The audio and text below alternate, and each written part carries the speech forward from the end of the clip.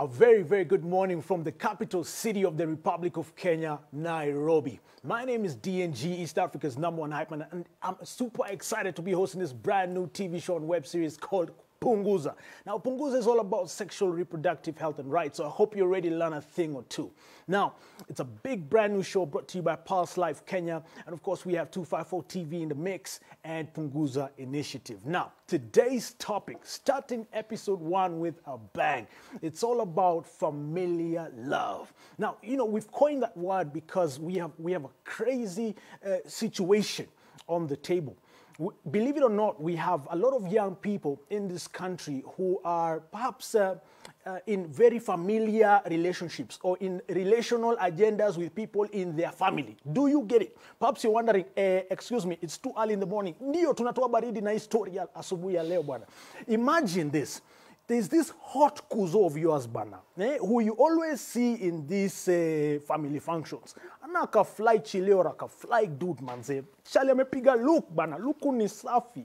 Eh, mkienda kwa anti nini kugaidhia shosho, kusalimia shosho mnapatana tu na yeye mnakula mokimo pamoja ni nini soon mna exchange ma numbers labda ni wale makuzo ushago eh, anakuja nai unamhost mnaenda out ni nini no suna mazee mnavaa the same clothes mnakala coordinate nini alafu inakuwa ni kitu that is what is happening in this country believe it or not now, to help me unpack this madness, hey, I have a spectacular uh, panel of guests here.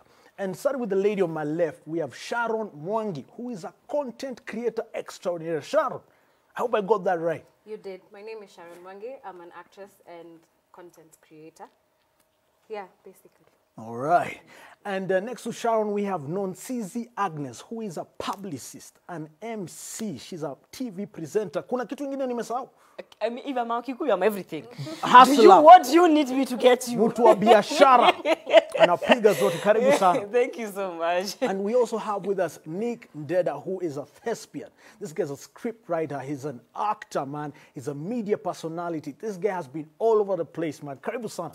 Thanks so much for having me. I'm super stoked to be here, No. uh, especially back in Nairobi. Yeah. Oh, where oh are you yeah, from? yeah. Where you oh from? yeah, yeah. Uh, nowadays, I'm in the cold areas of Limuru. It is really cold. It's, it's Look- crazy, but I like it. Ni lockdown huru alifunga nchi ukapatwa kwa boda. No, me, ama- by the way, I am I'm just one of those very, very lucky people. The moment I stopped doing my job on radio was the same time my wife was like, you know what, I'm tired of Nairobi. Can we get out? I was like, um, and go where? It's like, I found a house. Also, know. Nick, you're talking like Limuru is like you- Meru. Oh you're just. goodness. Do you want to know how far Limuru is? not far. I- You're in Kiambu County Okay, like so me. This, this today I was told come through for this interview. We start at 10:30, but to show up at 9:30. Call you time. you have to leave at six. I left six.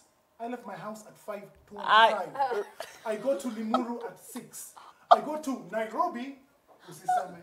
That's why. I, and, I, and the worst thing was I was late. I still got here late.